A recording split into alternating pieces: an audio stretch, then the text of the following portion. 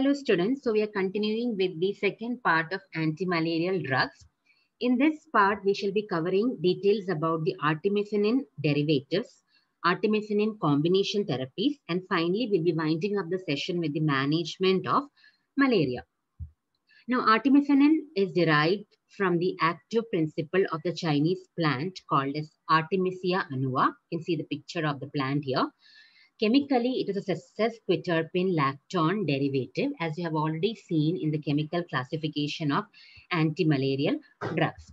Now, this is the image of the Nobel Prize to Youyou, who had uh, won a Nobel Prize for her discovery of artemisinin. And uh, the image of the person is also there in your practical record. So you can have a look in your records also. Artemisinin is one of the very potent and rapidly acting erythrocytic schizonticide against uh, uh, uh, Plasmodium falciparum.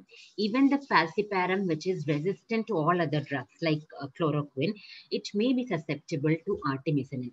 For this reason, it is very, very, uh, very, very useful drug in areas where there is high chloroquine resistance it produces a very quick defervescence and clearing of parasitemia in 48 hours. So in uh, chloroquine also you saw that it causes the control of the clinical attack within one to two days. Similarly, artemisinin is also uh, producing a complete clearing of the parasitemia in about two days. The advantage over chloroquine is that it is active even against the plasmodium which has become resistant to chloroquine. However, one problem with artemisinin is that because of the short duration of its action, there is a high rate of recrudescence is possible. I already mentioned to you in the first part, recrudescence is the is the uh, occurrence of the symptoms or the clinical features of the malaria because of the incomplete clearance of parasite from the blood. And this is mainly, this can occur uh, in the cases of artemisinin. That is one problem that has been seen with artemisinin. And, and that occurs mainly because it has got a very short duration of action. You have seen chloroquine, it has got a very long duration of action as compared to that, though it is active against the plasmodium against which the which have developed chloroquine resistance. The problem with artemisinin is it is very short duration or has a very short duration of action because of which high recrudescent rate is possible with its use.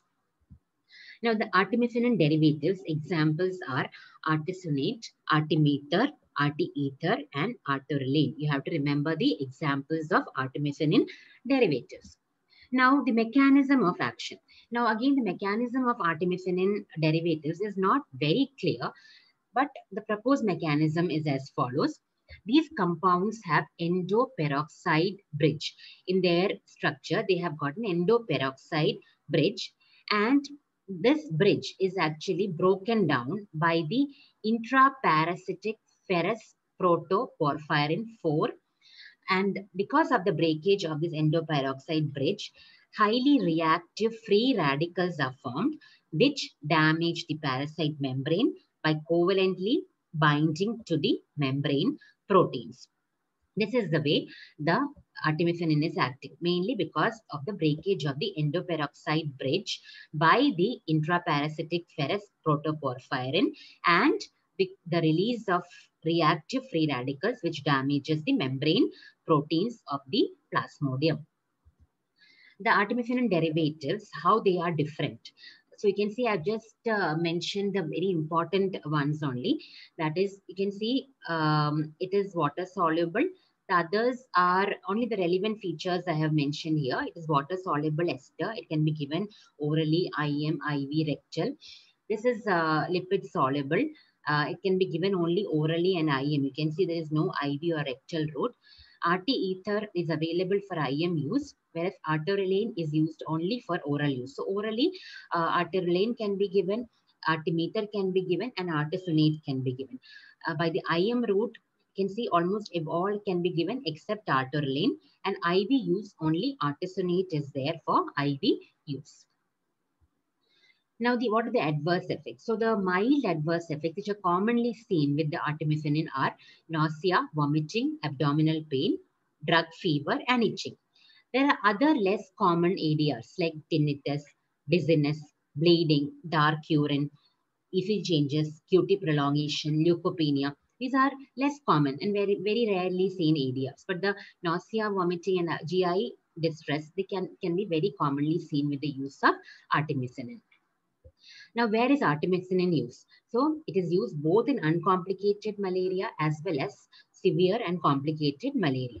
So for the uncomplicated malaria, it can be used um, even for chloroquine sensitive as well as resistant cases of Plasmodium falciparum. So, and for severe complicated malaria, it is given usually by the parenteral route. And we already saw that for the, the complicated malaria can be treated by quinine also. But we prefer to give artemisinin over quinine because we have already seen quinine has got some uh, unwanted ADRs.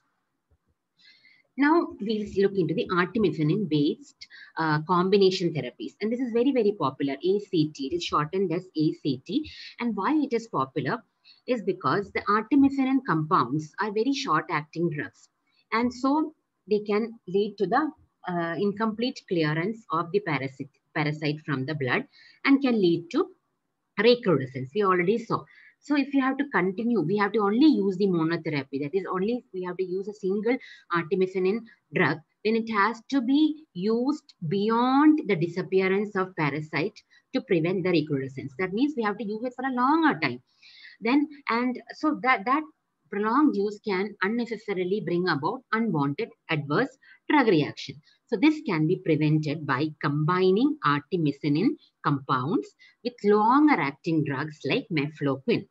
That is the advantage. So in these combination compounds also, the artemisinin compounds will rapidly kill more than 95% of the plasmodium and will leave only some small biomass of the parasites to be killed by the long T-half drugs. Now, if you're not combining the long T-half drugs, what will happen? Even the small mass which is remain, remaining can multiply and can lead to recrudescence. So, in the combination therapy, what happens is that we can uh, leave it upon the long-acting drugs to take care of the small mass of plasmodia that is left behind uh, by the uh, artemisinin. The advantages of artemisinin combination therapies are it brings about a rapid clinical and parasitological cure. Clinical means the symptoms will disappear. Parasitological means there will won't be any evidence of the parasite in the blood. So there's a difference. If even when the patient becomes clinically cured, that means there is no symptom. The parasite may be still remaining. So this is uh, the combination therapy. It will uh, provide rapid clinical and parasitological cure and it produces high cure rates as well as low uh, relapse rates. Absence of resistance also is there and there is a good tolerability profile. So when you're combining, you can use all the drugs in moderation. You need not have to uh, use it in large quantities. So that is, these are the advantages of ACT. Now, the common ACT regimens which are in use are artesunate combination with sulfadoxine, pyrimethamine combination, artesunate with mefloquine, artemether with lumefantrine, artesunate with ama, amodiaquine, and arteroline with piperacillin. So there are different uh, ACT regimens. And uh, if you refer your textbook, you will see a lot about written about these uh, drug regimens. But what I usually come to see uh, in the question answer papers is that you end up writing nothing about all these things. So I have just mentioned uh, very, very briefly about each one of them. And I think this would be sufficient at your level of understanding. So artesunate, and sulfadoxine pyrimethamine combination and it was one of the first line of act which was adopted under the national malaria program in india so you can see the dosage, artesunate 100 milligram BD for three days with SP, three tablets. Okay, this is a combination. It's coming as a fixed dose combination. Then artesunate mefloquine is also there. And um, again, I've given the dose of this. You can see it, how it is given. So you can see mefloquine 750 milligram is added on the second day and on the third day, whereas artesunate is given for three days. Then you can see artemether is combined with lumefantrine. And again, you can see how the combination is given for three days.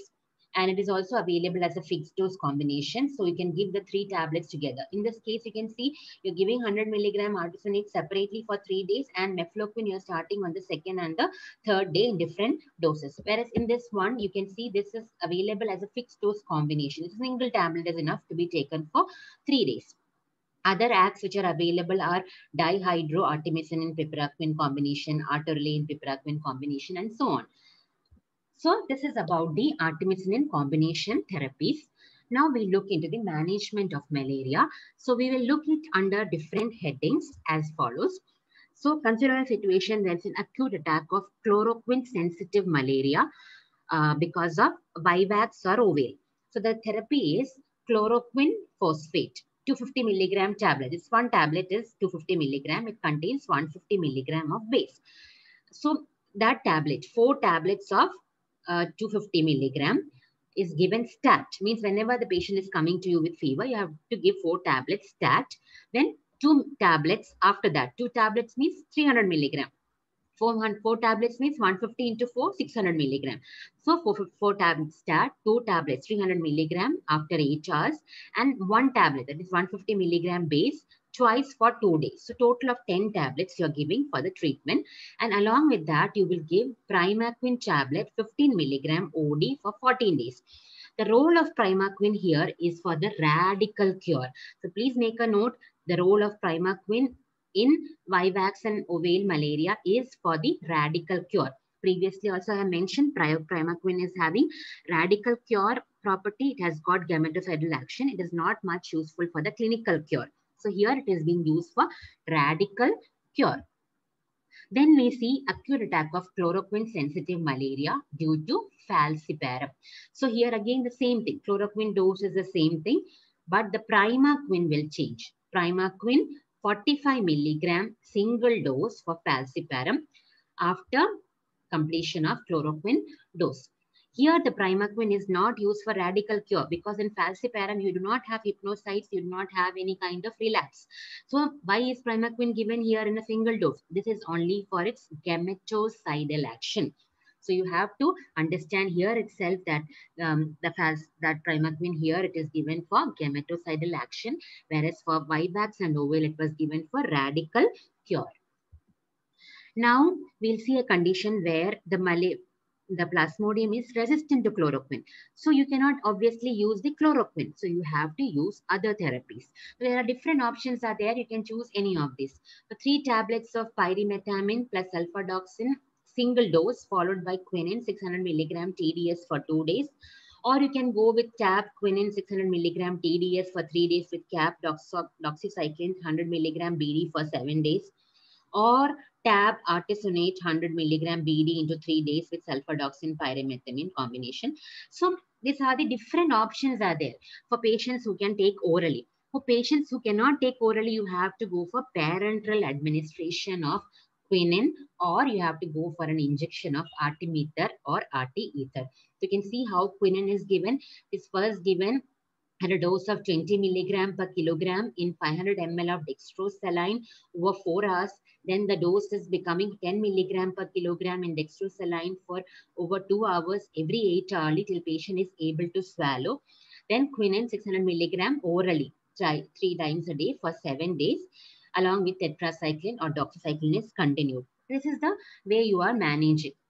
So, and then the treatment of severe and complicated falciparum malaria. So you can use different artin, uh, artemisinin um, therapies, artesunate, artemether, arteether. You can see the dosages I have written. All of it is almost seven days. Whereas if you're using it for a sing as a single drug, then you have to use it for long. That is seven days. Okay, that is the problem. Um, or you can use the uh, quinine also. As we already said, complication, patient with complications, you can always use quinine. So remember, for severe complicated malaria, you have to go for quinine or artemisinin combination.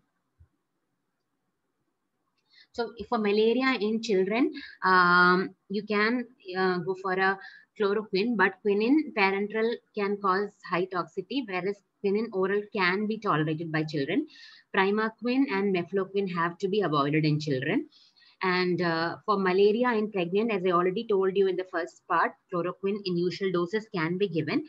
And uh, mefloquine, primaquine, tetracycline have to be avoided. So primaquine, which was a part of all the regimens of the acute um, uh, uncomplicated malaria, you cannot give primaquine in um, in female uh, pregnant women. You only have to give the chloroquine. Now we'll have a look at the prophylaxis of malaria. So where is this prophylaxis of malaria given? So it is indicated for uh, non-immune travelers to endemic areas of malaria non-immune persons who are living in endemic areas for fixed time. For example, the army units. Then infants, children, pregnant women who are living in endemic areas. So all these people have to be given a prophylactic dose. So what is the prophylactic uh, duration? So one to two weeks before to four weeks after returning from the endemic area. So throughout this period, you have to give the drugs to prevent the attack of um, malaria. So what are the drug regimens that can be given? So chloroquine, in case of chloroquine sensitive malaria, you can give 300 milligram per week. For chloroquine resistant malaria, you can choose options like mefloquine 250 milligram once a week, doxycycline 100 milligram daily, or atovaquone plus proguanil daily. These options can be taken for chloroquine resistant malaria for prophylactic purpose. So, so I have um, covered this topic, only the essential and the very most critical areas only I have covered. Um, there are um, uh, like there is a literature in your textbook regarding the other um, drugs that are used in malaria but these are the areas core areas which are important and you have to know all these things that we have discussed so far the other areas you can read as an additional uh, reading whenever you have time Okay, so hope you, uh, it is clear to all of you. Thank you.